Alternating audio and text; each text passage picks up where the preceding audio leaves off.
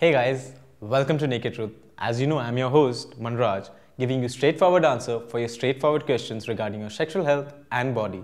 So, what are you waiting for? Let's go ahead with the question. So, today our question comes from a 13-year-old, Help Me, from Mumbai. He asks, why does my voice crack when I talk? It's so embarrassing. How can I control it? Well, voice cracking is something very natural and common which guys go through, especially during puberty age. Even I went through.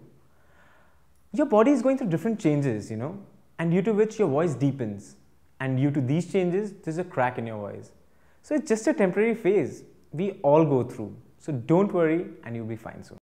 So help me. I hope this does indeed help. And if you have more questions regarding male health issues, please write in to us or mail us at tnt at mdhil.com. No questions are too crazy for us and everything is completely confidential.